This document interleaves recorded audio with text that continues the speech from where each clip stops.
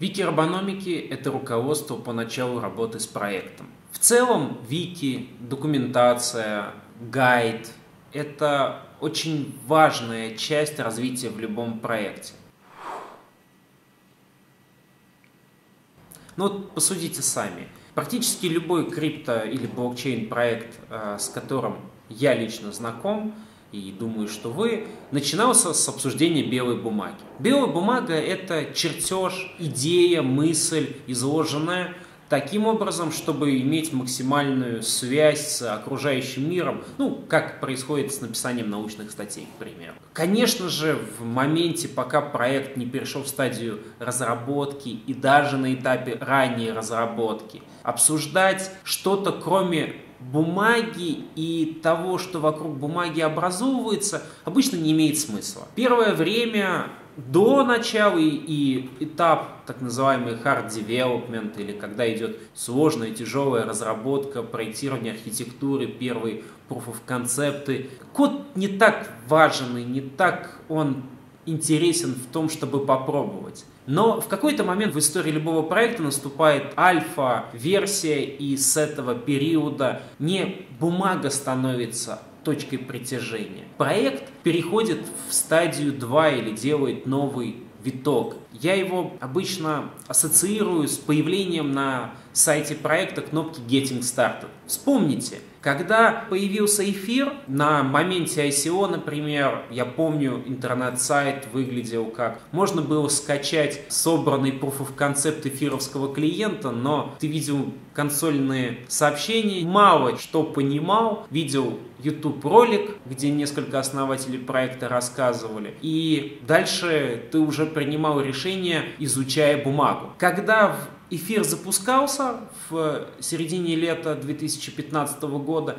Если вы заходили на интернет-сайт, то вы увидели э, уроки, несколько уроков последовательных по установке клиента, по э, созданию аккаунта, по майнингу и попытки создать умный контракт или отправить транзакцию. Это и есть тот самый Getting Started, который можно сегодня найти и на других проектах, таких как EOS и Tezos, в скором времени я уверен, что и с Polkadot так случится. В моей личной и думаю, что для многих схожей градации развития этапов э, вторым важнейшим этапом после э, публикации бумаги является появление Вики. По этой причине я в этом году делаю большой акцент внимания на совершенствование и развитие данного раздела. Появление Вики не означает, что проект э, переходит в стадию 1.0, то есть это продакшн. Наоборот, Вики имеет смысл уже создавать в тот момент, когда интересно привлекать первых ранних разработчиков. Ну, потому что в любом случае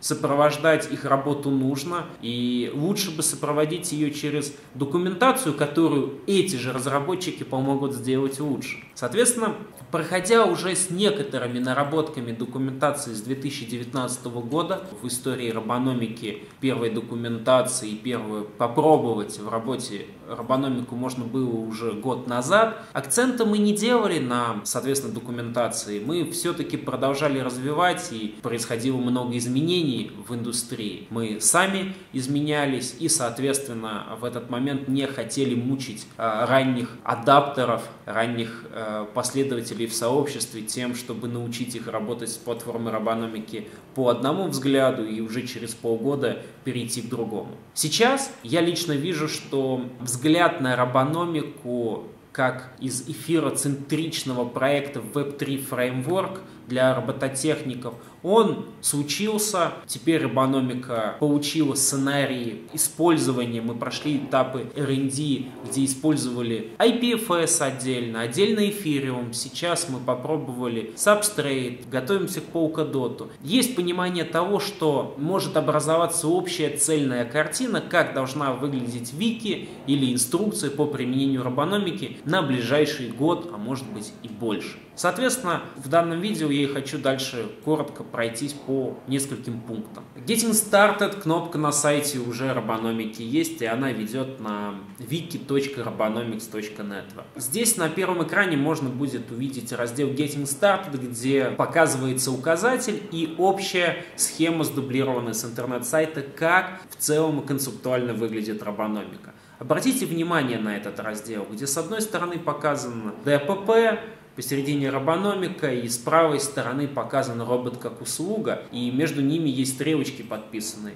Это не сложная схема, но она концептуально важна, и раз она не сложная, с ней можно посидеть минутку, поразбираться, и в действительности появится, закрепится скорее даже какое-то понимание о робономике и процессах, которые она обеспечивает. Следующий момент. В Getting Started вы найдете для себя указатель в соответствии с пользовательским сценарием. Мы выделяем на сегодняшний день несколько групп пользователей робономики. Первые это пользователи сервисов на базе Робономики. У нас уже запущено несколько сервисов, их можно найти в ДПП Робономики в разделе «Сервисы», и можно посмотреть, как они использовались в работе за 2019 год на YouTube-канале Робономики. И в ближайшее время мы будем продолжать развивать этот раздел. Это раздел, который образуется в рамках прикладных R&D, когда к нам поступал запрос на то, чтобы попробовать что-то сделать в робономике, и мы понимали, что получившийся результат, он имеет некоторую долю обобщения или абстракции, который может превратить результат в общественный или полезный большему количеству людей, чем нежели запрашивающий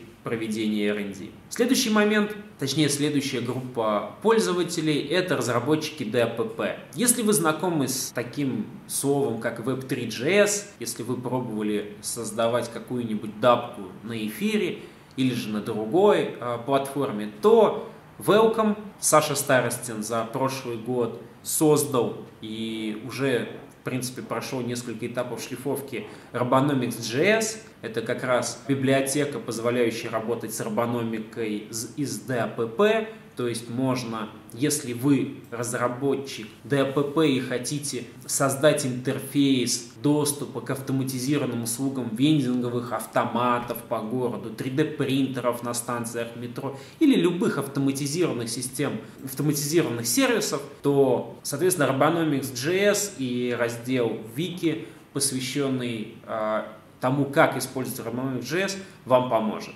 Следующая группа – это инженеры, кто занимается робототехникой. Для них, наверное, больше всего есть сложно-технический раздел в разделе Learn. В самом конце э, вики можно найти довольно много полезной для инженеров, знакомых с ROS, материалов и попробовать с ними поиграться. Соответственно, если вашей задачей является подключить сенсор к ДПП, построить межмашинную коммуникацию с использованием умных контрактов, подключить робота под контроль децентрализованного компьютера Ethereum или Polkadot, попробовать построить сенсорную сеть поверх IPFS, то вам, соответственно, через Getting Started в раздел для робототехников, и там можно будет найти для себя ответы. Четвертая группа – это провайдеры децентрализованных сетей. Так как робономика децентрализованная сеть, не мы обеспечиваем э, ее работу, то есть не разработчики закупают мощности в облаках. Наш код, как по примеру с биткоином и эфириумом, должен запускаться на независимых провайдерах. Соответственно, мы вики для них отдельное уютное местечко, не перегруженное, надеюсь, будем развивать и создавать в течение 2020 года.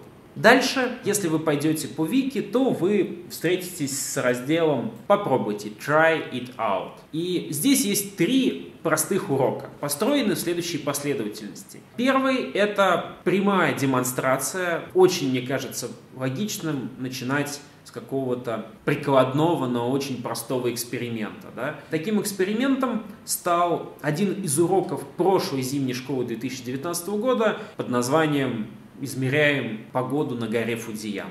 Мы подключили сервис, э, который обеспечиваем работу этого сервиса или агента в сети мы сами разработчики робономики, который берет из открытых источников данных информацию о погоде на горе Фудзияма. И при этом есть в разделе сервисы возможность перейти на интерфейс, с которого любой абсолютно пользователь, имеющий MetaMask, и раздел этот не требует ни эфира, никаких других токенов, по умолчанию, позволит вам сделать запрос в сеть робономики «Погода на горе Фудзияма». Наш агент АИРа увидит этот запрос, соберет данные, упакует их в IPFS и пришлет вам через интерфейсы проекта. Вы тем самым увидите, как в целом происходит коммуникация человека с машиной через робономику в самом простом сценарии, когда вам ничего абсолютно не нужно делать, кроме как установить плагин MetaMask, и скорее всего он у вас и так установлен в одном из браузеров. Пробуйте, смотрите, как выглядит DAPP робономики, посмотрите, как может выглядеть автоматизированный сервис, ну и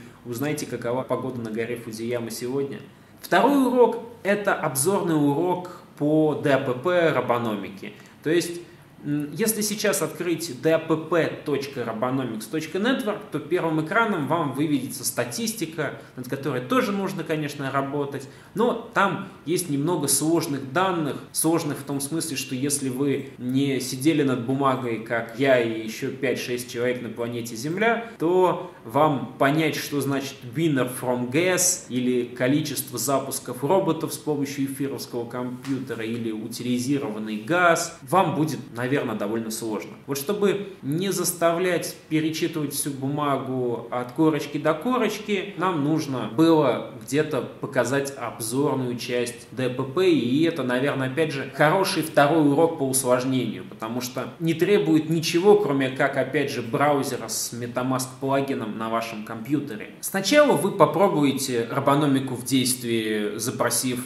э, данные о погоде с горы Фудзияма у агента Аиры, который поддерживает разработчики. А на втором шаге вы перейдете к обзору в целом DAPP, которым вы воспользовались, и немножечко разберетесь с теми параметрами, которые выводятся относительно сети. И уже на третьем шаге мы предлагаем установить AIRU, виртуальную машину, VirtualBox. И это тоже не больно, это не сложно. С такой задачкой может справиться абсолютно любой DIY-щик, гик, инженер, студент второго-третьего курса прикладной специальности. После чего это раздел Try It Out. Он заканчивается тем, что дальше переходит переходит в разделы кейсов. Мы подумали, что уроки абстрактные, хотелось бы их в документации содержать по минимуму, чтобы их было минимально необходимый набор. Может, сейчас их три, как я сказал, может быть, будет 4, 5, но они будут короткими и, я надеюсь, очень простыми. И после этого мы не хотели делать, опять же, абстрактные усложненные уроки. Мы подумали, что на основании проведенных R&D надо уже дальше направлять человека в более конкретный сценарий применения робономики, который им будет ближе. Ну, например, сейчас мы также подобрали три основных урока в разделе кейсы, но уже прикладных. Первый – это построение открытой сенсорной сети поверх IPFS с помощью робономики. То есть, если вы, например, хотите построить гражданскую сенсорную сеть, экологическую или шума, или ЖКХ, то робономика вам поможет сделать это бесплатно. Условно бесплатно стоимостью кабеля в вашей квартире и тех мощностей, которые вы сами купите, без расходов на внешнюю инфраструктуру или покупку другого программного обеспечения. Пример второй из раздела кейсы он описывает сценарий, как на основании данных от IoT-устройства происходит потребление инструмента зеленых финансов. И этот сценарий, он универсален. По его примеру можно попробовать сделать абсолютно любой сценарий, где, ну, например, бензинговая машина оценивает ваш залог и выпускает, отдает вам дай токены, например. И третий сценарий – это сценарий э, работы с нашей реализацией на сабстрейте Polkadot, механизм как можно сохранить данные в IPFS и положить хэш данных в чейн на Substrate. Этот сценарий полезен будет в первую очередь, наверное, для того, чтобы больше познакомиться с субстратом, потому что не так много сейчас от сообщества э, примеров. И второй момент. По нашему предположению, использовать Polkadot и субстрат, скорее всего, будет дешевле, чем эфир 1.0, я думаю, что многие с этим даже сейчас до запуска Polkadot могут согласиться. Мы понимаем, что эфировские сценарии применения в робономике, они должны быть больше связаны с финансовыми инструментами, с чем-то из мира decentralized finance. И это может быть еще связано с DAO. Сценарий с DAO на эфире тоже будет добавлен со временем. Когда нам нужно заиспользовать распределенный реестр для каких-то задач, кроме финансов и DAO, Мы сейчас думаем, что в таких случаях мы будем больше делать акцента на применение сабстрейта и Polkadot. Соответственно, если нам нужен чейн, который должен в себе хранить слепки, хэши из IPFS по данным от тысяч датчиков, мы бы не хотели бы использовать для этого эфира с ограниченным потолком в газ и высокой стоимостью транзакции, ну там в доллар-полтора, что сейчас на робономике получается. Для этого мы думаем использовать Substrate. Но если же вам необходимо сделать финансовый инструмент, связанный с IoT-устройствами, то я думаю, во многих случаях 1 доллар за использование этого инструмента на готовой платформе, как эфир, вас устроит. Так, мы в робономике и подошли. Соответственно, раздел Cases при запуске вики будет состоять из трех примеров, чтобы три возможности робономики использовать IPFS в связке с IoT-устройством роботом, чтобы использовать децентрализованные финансовые инструменты и DAO на базе эфира и использовать распределенный реестр с повышенной пропускной способностью и низкой ценой транзакций для сохранения различных слепков данных, логов операций роботов, исполнения сервисов, хэшей от сохраненных данных от сенсорной сети. Вот здесь мы видим субстрат, субстрат или Polkadot. Раздел кейсов я вообще думаю, что будет самым динамично развивающимся, потому что если Вики посмотреть, есть раздел еще э, выполненные нами R&D, и там есть список, и сейчас на сегодняшний день состоящих 13 исполненных разработчиками R&D проектов вокруг робономики. И каждый из них мы потихоньку хотим переносить в кейсы, если, ну, проверяя, конечно, актуальность и полезность для сообщества. Я думаю, что раздел этот вырастет за год до 10 примеров, и он будет, так скажем, примером нишевых применений для фермера, для того, кто гидропоникой занимается, для того, кто занимается дронами. Следите за обновлениями раздела кейсы и ищите там со временем более конкретные сценарии применения и выстраивайте себя в голове цепочку, что из Getting Started я пройду три урока, чтобы ознакомиться с робономикой, сразу же прыгну и в конкретный свой сценарий начну делать то, что конкретно мне интересно. И третий э, важный раздел Wiki, Learn, э, обучение. Здесь уже для более глубокого прохождения информации. Что я имею в виду? Как только в разделе Cases сценариев применения вы найдете то, что вам интересно, ну, например, построение открытой сенсорной сети по измерению шума в городе, вы попробуйте повторить все, что мы сделали в инструкции. У вас получится, а потом вы, как всегда, захотите, помните, как бриллиантовые руки, крылья, пуговицы, ну, в общем, вы захотите сделать свой тюнинг. И, как всегда, в этот момент встают сложности, что как только ты меняешь одну запятую, у тебя все ломается, и, и ты не понимаешь, что тебе делать. Для таких случаев, когда ты поменял запятую и не знаешь, что тебе делать, мы сделали раздел более глубокого погружения в робономику. Там справочники, там э, более сложные инструкции, в общем, все то, что нужно, когда ты хочешь сделать шаг вперед в сторону собственного проекта на базе Романови.